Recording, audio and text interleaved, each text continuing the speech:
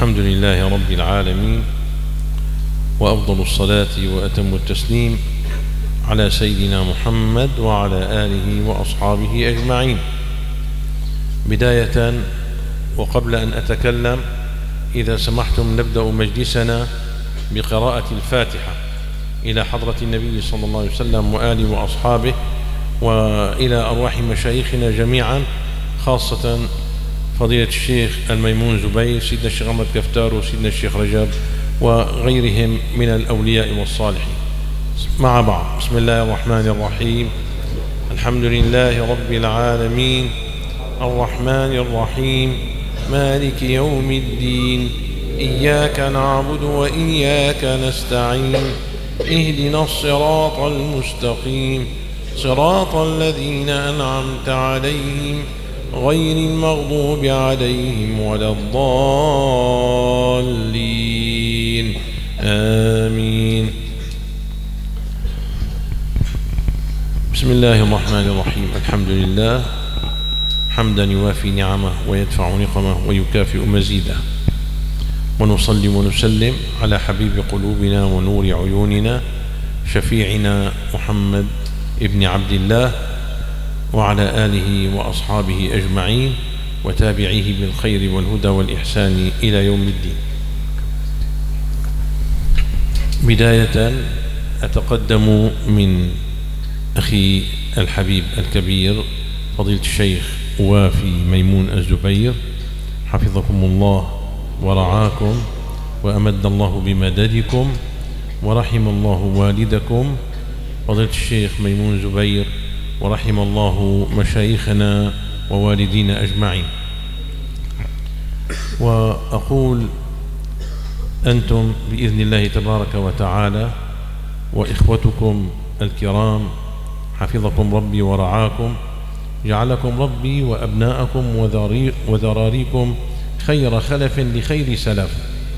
وأرجو الله أن تكونوا جميعا خير من يملأ الفراغ بعد وفاة فضيلة الشيخ ميمون زبير رحمة الله عليه Bismillahirrahmanirrahim Beliau Syekh Muhammad Rajab Dib menyampaikan bahwa beliau beserta rombongan mendoakan semoga putra seluruh putra dari Kiai Maimun Zubair mampu mengemban amanah untuk meneruskan perjuangan Kiai Maimun Zubair. ثم أنتم أيها الإخوة الطلاب حفظكم ربي ورعاكم ينبغي أن يكون عندكم هدف أسمى تسعون لتحقيقه من خلال دراستكم في هذا المعهد المنور Beliau menyampaikan kepada para santri kiranya memiliki tujuan yang mulia, tujuan yang baik dengan sungguh-sungguh belajar di pondok pesantren Al-Anwar ini. أنتم في معهد يكاد يتميز عن كثير من المعاهد Saat ini kalian berada di pondok pesantren yang memiliki keistimewaan dibandingkan dengan pondok-pondok pesantren yang lain. من خلال مؤسسه وشيخه الشيخ ميمون زبير رحمات الله عليه Keistimewaan itu adalah karena pendiri pondok pesantren ini yaitu keberadaan guru kita semua Kiai Maimun Zubair.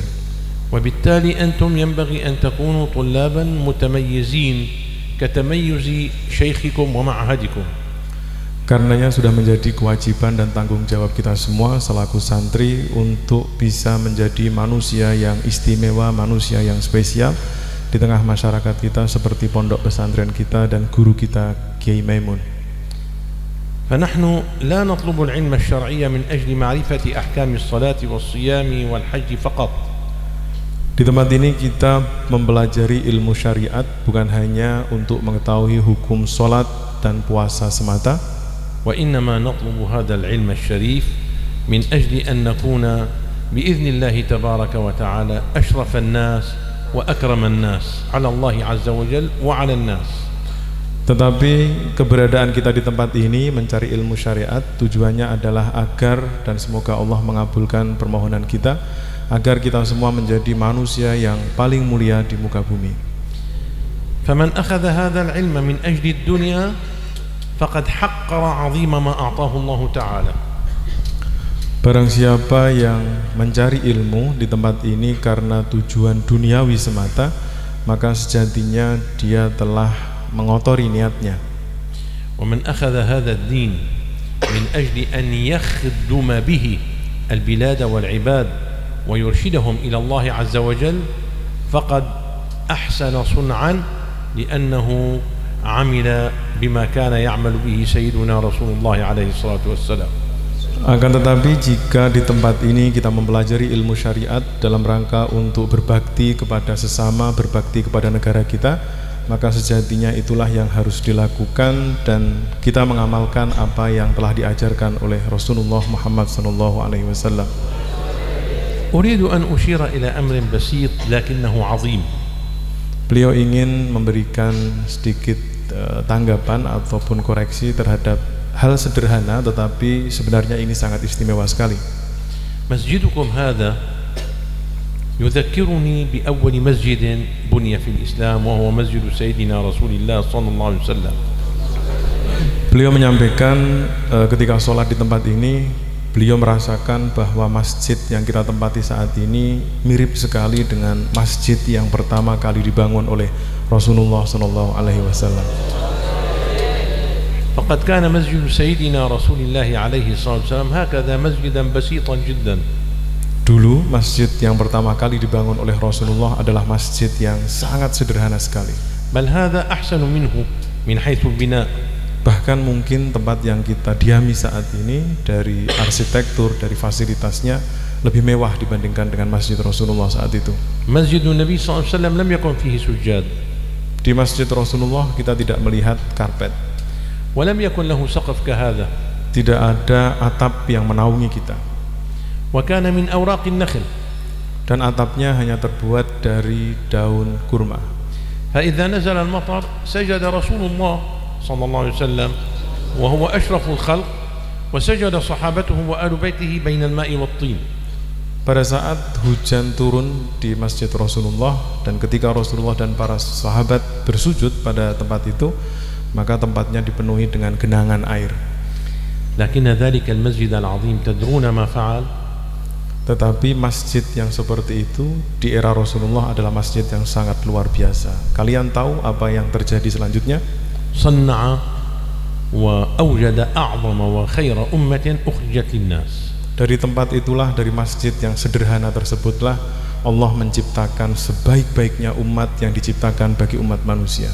وكان مفرخة عظيمة Dan- فرخ فرخ كل المساجد التي في الدنيا dan menjadi kebanggaan bukan hanya kebanggaan bagi penduduk kota Madinah tetapi juga menjadi kebanggaan bagi seluruh masjid di dunia.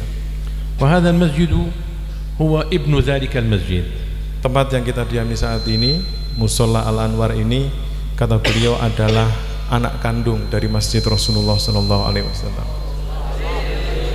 وهذا المسجد أيضا يذكرني بأخيه مسجد أبي النور القديم Dan masjid ini, seperti yang disampaikan oleh beliau Syekh Muhammad, mengingatkan saya kepada masjid yang ada di Damaskus yaitu Masjid Abin Nur yang bangunan kuno yang oleh beliau dikatakan sebagai saudara kandungnya. Oh, Masjid Sidna Syekh Muhammad Amin Kaftaru, Sidna Syekh Ahmad Kaftaru. Masjid itu adalah masjid milik Syekh Muhammad Amin Kaftaru dan juga Syekh Ahmad Kaftaru. Ana nasha'tu fi dzalikal masjid. Beliau menyampaikan bahwa di masjid itulah saya tumbuh. ada yuzakkiruni bihi katsiran. Tempat ini mengingatkan saya mengulang kembali memori pada saat saya tumbuh di sana. Fahuma akhawani syaqiqan. Dua masjid ini Al Anwar dan Masjid Abin Nur adalah dua saudara karib. Abu Huma Masjid Sayyidina Rasulullah alaihi wasallam. Di bawah seorang bapak yaitu Masjid Rasulullah sallallahu alaihi wasallam. Mal maqsudu min dhalik? Apa yang beliau harapkan atau apa yang beliau maksud dari uraian yang baru saja disebutkan? مسجد الحبيب الأعظم صلى الله عليه وسلم وصل نور الإسلام منه إلى أرجاء الدنيا Masjid Rasulullah mampu menciptakan cahaya yang menyebar ke seluruh alam semesta. كما قال عليه الصلاة والسلام لا يبلغن هذا الأمر ما بلغ الليل والنهار Sebagaimana yang disampaikan oleh Rasulullah dalam salah satu hadisnya, urusan ini yaitu dakwah akan sampai ke seluruh penjuru dunia. وقد بلغ هذا الأمر ما بلغ الليل والنهار Dan alhamdulillah apa yang disampaikan oleh Rasulullah terwujud hingga hari ini kita melihat Islam mengalami perkembangan yang sangat pesat di seluruh dunia. ومسجد أبي النور صار اليوم مجمع الشيخ أحمد كفتارو وبلغت الدعوة منه إلى أرجاء الدنيا Seperti juga Masjid Abin Nur yang hari ini juga banyak sekali mencetak para dai yang tersebar di seluruh dunia. وهذا المسجد أيضا كم تخرج فيه من العلماء Dan dari tempat yang sederhana ini sudah berapa banyak para ulama yang dilahirkan. لعل أكثر العلماء الذين افتتحوا معاهد شرعية وبنوا مساجد في أندونيسيا هم متخرجون من هذا المعهد ومن هذا الجامع Beliau mengatakan saya punya keyakinan bahwa kebanyakan ulama yang membuka pondok pesantren atau memiliki pondok pesantren di seluruh Indonesia kebanyakan dari mereka ada lulusan tempat ini. Alaysa kadzalik? Bukankah demikian? Bala. Syekh. Idzan antum abna'u masjid muntaj. Karenanya kalian semua adalah generasi atau anak dari masjid yang produktif. A'ni abna'a syaikhin muntij. Maksud saya adalah generasi penerus ataupun anak dari seorang guru yang produktif. Al-Syaikh Al-Maimun Zubair rahimahullah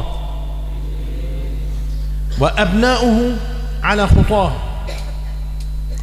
Syekh Maimun Zubair dan juga putra-putranya yang senantiasa berjalan sesuai dengan ajaran beliau. Wa antum tullabuhu aidan kunu ala khutah. Dan beliau memerintahkan kepada kita semua untuk berjalan sesuai dengan manhaj Syekhina Ki Maimun Zubair. Wa tabi'u hadhihi al-masira. Teruskan perjuangan beliau. Wa'lamu anna al-islam yaqumu ala kawahil ar-rijal wal 'udama wal ulama'. Ketahuilah bahwa Islam hanya bisa berhasil di atas pundak para ulama dan orang-orang yang berjiwa besar. لكنه لا ينتهي بوفاتهم Akan tetapi Islam tidak berhenti dengan kematian mereka. فأبناؤه وتلامذته يستمرون بذلك من بعده Putra-putra para kiai kita dan murid-murid beliau akan terus mem- meneruskan perjuangan beliau. وبذلك تبقى المسيرة مستمرة بإذن الله تعالى كما استمرت مسيرة الحبيب الأعظم إلى الآن وستبقى إلى يوم القيامة Karenanya dakwah guru kita Kiai Maimun Zubair akan terus berjalan seperti dakwah Rasulullah Shallallahu Alaihi Wasallam akan tetap berjalan hingga hari kiamat nanti. ونحن جميعا فرع من هذه المسيرة النبوية Dan kita semua adalah bagian dari perjuangan kenabian ini. فعاهدوا الله عز وجل أن تصونوا وتحموا وتحملوا هذه المسيرة حتى نلقى الله جميعا وهو راض عنا ونورثها لمن بعدها لمن بعدنا بإذن الله Berjanjilah kalian semua kepada saya untuk senantiasa menjaga, senantiasa meneruskan, senantiasa melindungi apa yang telah diajarkan oleh guru-guru kita hingga kelak kita bertemu dengan Allah Subhanahu wa taala. وهذا يحتاج منكم اجتهادا في العلم والمعرفة Karenanya perjuangan yang tidak mudah ini membutuhkan bukan hanya ilmu tetapi juga pengetahuan atau ma'rifah. اجتهادا في ذكر الله تعالى Kesungguhan untuk senantiasa berzikir kepada Allah. فمؤسس وشيخ هذا المعهد فضيلة الشيخ ميمون زبير لم يكن عالما عاديا Beliau menyampaikan bahwa guru kita Kiai Mamun Zubair bukan sekedar orang alim biasa, ولم يكن ذاكرا عاديا bukan seorang ahli zikir biasa. وإنما كان إمام أهل الذكر في هذه البلاد Akan tetapi guru kita semua Kiai Mamun Zubair adalah imam atau pemimpin para ahli zikir di negeri ini. وأنتم ينبغي أن تكونوا أئمة الذاكرين إن شاء الله Karenanya sebagai bentuk tanggung jawab kita kepada guru kita, kalian semua harus menjadi para pemimpin ahli zikir di Indonesia. A'immatul ulama'il amilin Menjadi para pemimpin ulama yang mengamalkan ilmunya. Du'atil mubasysyirin wal mundzirin. Menjadi pemimpin para ahli dakwah yang membawa berita gembira dan berita ancaman. Faman sadaqa ma'allahi subhanahu wa ta'ala sadaqa ma'ah. Barang siapa yang bersungguh-sungguh menjalankan ajaran Allah maka Allah akan memberikan kemudahan dan memberikan pahala baginya. Wa man qassara qassara ala nafsih. Dan barang siapa yang terlena ataupun tidak bersungguh-sungguh maka sejatinya dia telah merugikan dirinya sendiri. Walladhi yuqassir sawfa ya'ti alaihi yawmun yandam haitsu la yanfa'uhu nadam Dan mereka yang sembrono tidak memanfaatkan waktu yang diberikan kelak mereka akan mengalami kerugian dan penyesalan di hari di mana penyesalan tidak ada bermanfaat lagi. واسمعوا قول الله سبحانه وتعالى يقول لنا جميعا وقل اعملوا Mari kita dengar apa yang disampaikan oleh Allah Subhanahu wa taala wa qul i'malu. فسيرى الله عملكم ورسوله والمؤمنون Bekerjalah, berbuatlah niscaya Allah, Rasul dan orang-orang beriman di sekitarmu akan melihat amal kalian semua. dunia. Ini adalah pendinghatan ataupun penilaian di dunia. Wal mu'minun hum syuyukhukum alladzina yutabi'unakum fayanbaghi an yaraw intajakum wa amalakum wa ijtihadakum. Al-Mu'minun menurut beliau dalam ayat tersebut yang dimaksud adalah guru-guru kita yang masih membersamai kita sampai hari ini. Beliau tentunya ingin melihat produktivitas kita, kegiatan dakwah kita.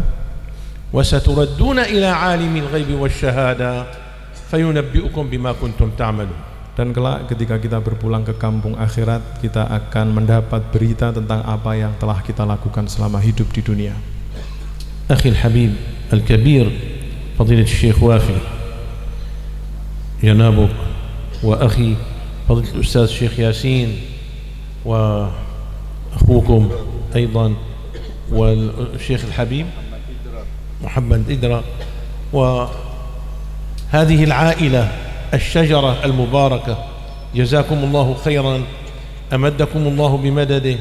وكان الله تعالى لكم خير معين وأعطاكم ربي فوق ما تبتغون. وبلغكم فوق ما تريدون. وأجرى الخير على أيديكم دائما وأبدا للبلاد والعباد. أسأله سبحانه في علاه أن يجعل هذا المعهد دائما وأبدا مشعل نور وهداية في أرجاء البلاد بلاد المسلمين أجمعين. الله يبارك فيكم. ونسمع دعاء الختام من فضيلة الشيخ محمود شحادة.